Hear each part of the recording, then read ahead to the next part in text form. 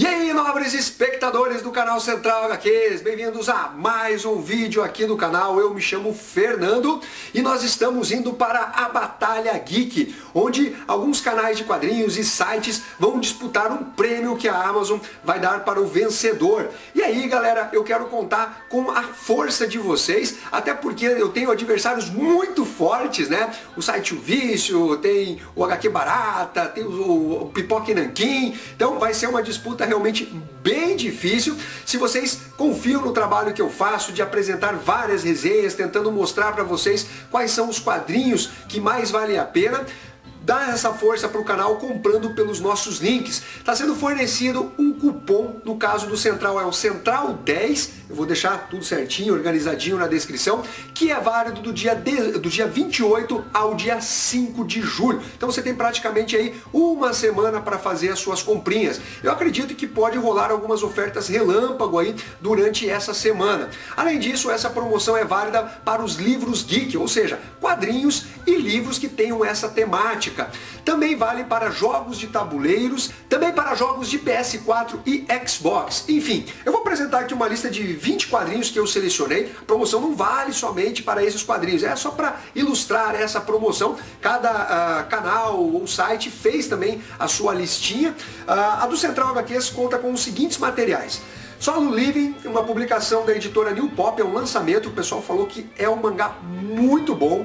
Temos também Demon Slayer, o volume 4. Uh, ah, Carnificina Absoluta Contos Sangrentos, volume 1, publicação aqui da editora Panini Comics, que pertence à saga Carnificina Absoluta, esse aqui é o spin-off, uh, vai ter resenha no canal na segunda-feira dessa publicação. Tem também Carnificina Contos Sangrentos, o volume 2, né, a continuação desse.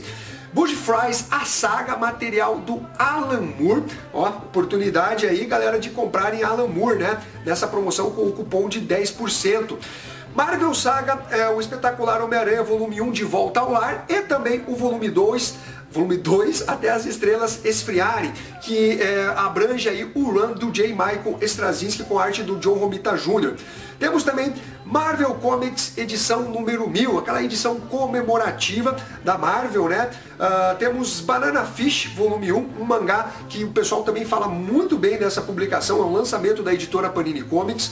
O Imortal Hulk volume 4, publicação que ainda está em pré-venda, então a oportunidade de vocês é, conhecerem essa obra aí, que está concorrendo ao prêmio Eisner novamente pelo segundo ano consecutivo, que conta com os desenhos do Joey Benet que está arrasando. Temos também um pack do Sin City, que é toda a coleção Sin City do Frank Miller. Aí, meus amigos, nós temos um Frank Miller realmente no alto nível, uma, uma arte assim que é um espetáculo. Na minha opinião, o melhor trabalho artístico é, do Frank Miller se dá exatamente é, em Sin City. Ele brinca muito bem com o jogo é, de luz e sombra. Então, é, são as publicações da editora Devir, né? Num, não é uma caixa, né? Mas é um pack ali contendo todas as edições. Então você, além da promoção que já está normalmente na Amazon, você tem mais 10%, beleza? Temos ainda uh, o Sunny Volume 1, uma publicação da editora Devir, que foi resenhada recentemente aqui no canal. É um material do Matsumoto, uma história mais sensível, intimista, uma publicação realmente bem interessante, recomendo vocês assistirem essa resenha. Mal Caminho e Sabrina, ambos da editora Veneta. O pessoal costuma reclamar dos preços mais elevados da editora Veneta, realmente não são uh, quadrinhos baratos, mas olha galera, são materiais realmente de muita qualidade qualidade. Dificilmente você erra com alguma publicação é, da editora Veneta. Então, 10% aí para vocês, além do que já está de desconto, né?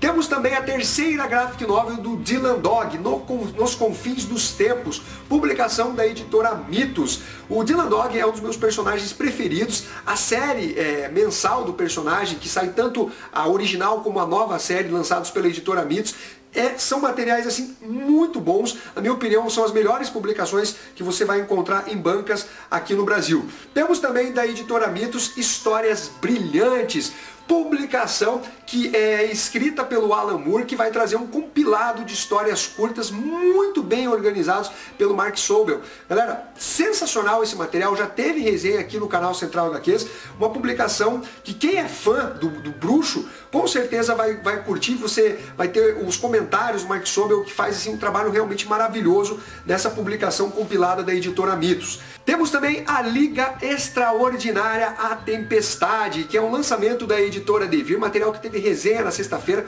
material difícil, assim, pesado para ler, mas eu sei que tem muita gente que é verme, assim como eu, que não só gosta de comprar todas as publicações do Alan Moore, mas que tem os outros volumes da série Liga Extraordinária e esse volume final não vai deixar passar em branco. Então tem aí a oportunidade de mais 10%. Vocês estão vendo aqui todas as edições da Liga Extraordinária.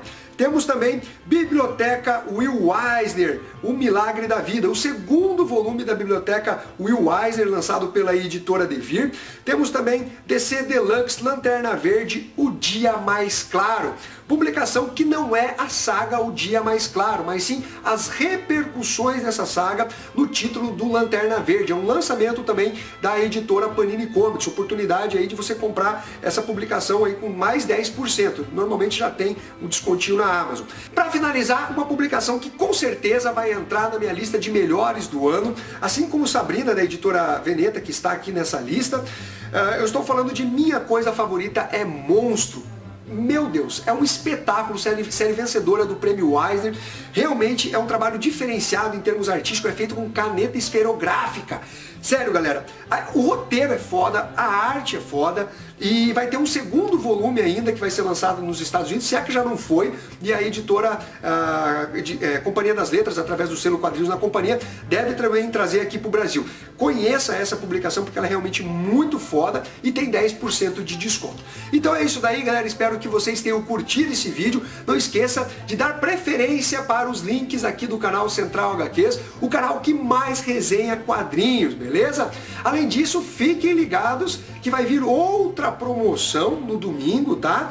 A galera aí que tá pedindo coisas relacionadas a importados e tal, fiquem ligados. Eu não sei se vai aplicar esse cupom de 10%, eu acredito que não, tá? Mas você vai ter, vai ter uma promoção bacana também de importados. Então fiquem ligados aqui no canal Central HQs que também vai ter vídeo.